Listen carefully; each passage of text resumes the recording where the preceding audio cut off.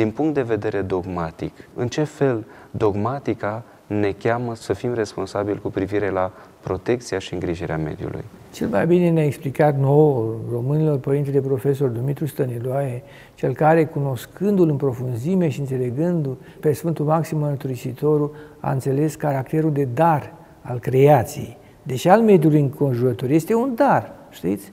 Asta o vezi mai ales când te duci în natura, te duci undeva la munte sau ce a lăsat Dumnezeu chiar fără intervenția omului, cum să spun, că una este grădina casei și așa mai departe, unde e benefică intervenția și grija omului, dar chiar și așa în stare naturală, toate pădurile, izvoale și așa mai departe, în frumusețea și în echilibrul lor, vedeți, sunt gândite de Dumnezeu și atunci toate duc la ceea ce spunem noi în dogma cosmologică sau învățătura de credință despre creația lui Dumnezeu, că ea este bună.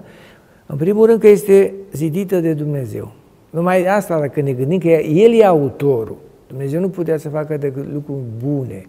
Dar vedeți că aici e taina, ne lasă și pe noi să intervenim, dar după gândul lui să intervenim, nu al gând, un gând posesiv, egoist, după gândul lui altruist, de vreme ce el a făcut-o și ne-a dăruit-o nouă.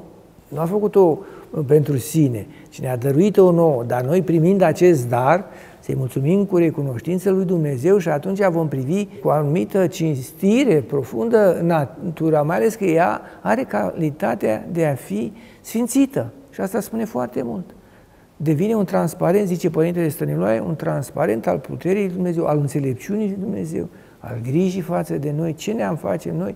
Vedeți, doar la oxigenul acesta să ne gândim. E, acum se întâmplă lucruri grave când este atacat oxigenul, ca să spun așa, e diminuat prin anumite, prin revoluția industrială care a început în secolul XVIII și mai târziu. Deci omul nu trebuie să fie imprudent aici, ci să gândească mintea lui Hristos, cum se spune. Și atunci Hristos însuși a avut grijă. De exemplu, a avut grijă de mulțimile acelea, da? Mulțimile acelea, după ce l-au ascultat o zi, s-au folosit de predica lui, de cuvintele lui Dumnezeiești, au flămânzit. E, Mântuitorul nu le-a spus, mergeți acasă să mâncați și ne vedem mâine. Nu, nu. S-a adresat ucenicilor apostoli, viitori apostoli, dați-le voi ceva de mâncare, deși ei nu aveau. Și a făcut minunea mulțirii pâinilor. Deci El se îngrijește de sufletul nostru Hristos, dar vrea să se, și să îngrijește și de trupul nostru. Să avem, ori trupul nostru poate fi susținut în existență de roadele pământului, dar privite Uh, cu discernământ, folosite în mod rațional, nu stricate, nu uh, îndepărtate și așa mai departe. Deci, plecând de la faptul că e opera lui Dumnezeu, că este oferită omului și că omul are grijă ca de o grădină a raiului, uh, nimeni nu trebuie să violenteze natura sau cel care face lucrul acesta greșește nu numai împotriva naturii, unu, nu numai împotriva oamenilor care vor avea mai puține resurse, doi, ci greșește împotriva lui Dumnezeu, autorul lumii. Noi am fost, cum se spune într-un acatis, am fost invitați aici în lumea lui Dumnezeu, El ne-a invitat și noi venim să o stricăm, noi vrem să distrugem casa aceasta care El a zidit-o, e minunată. N-am fi putut noi să o facem.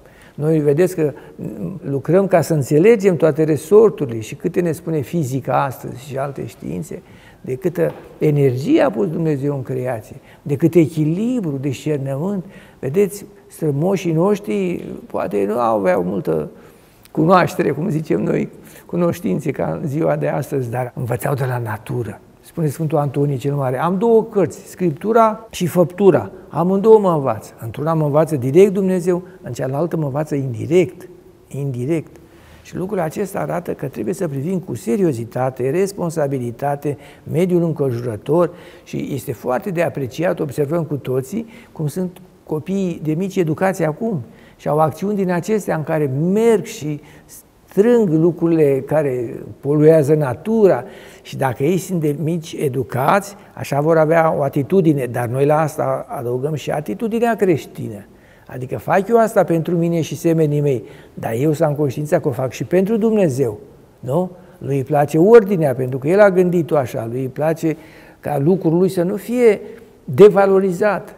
Pâinea aceasta care ne dă Dumnezeu este și rod al muncii noastre, dar noi cerem lui Dumnezeu, așa cum ne-a învățat Mântuitorul în rugăciunea domnească. Dă-ne o nouă astăzi, pâinea cea de toate zile, Deci noi vedem lucrul acesta că e darul lui Dumnezeu, de aceea îi mulțumim, de altă parte e și efortul nostru și un efort constant. Și atunci cum să bajocorim noi pâinea? La țară, în tradiția noastră românească și creștină, era ca un cult. Așa cum o credincioasă sau un credincios făcea semnul crucii când punea lumânarea în sfeșnic, așa făceau cum știau, ca să vadă că i-o dăruiesc Dumnezeu, așa făceau și pe pâine semnul crucii. Deci îi mulțumesc lui Dumnezeu și sensul prescurilor aduse la biserică chiar acesta este, mulțumirea comunității. Sigur, dintr-una se va face chiar trupul Mântuitorului Iisus Hristos.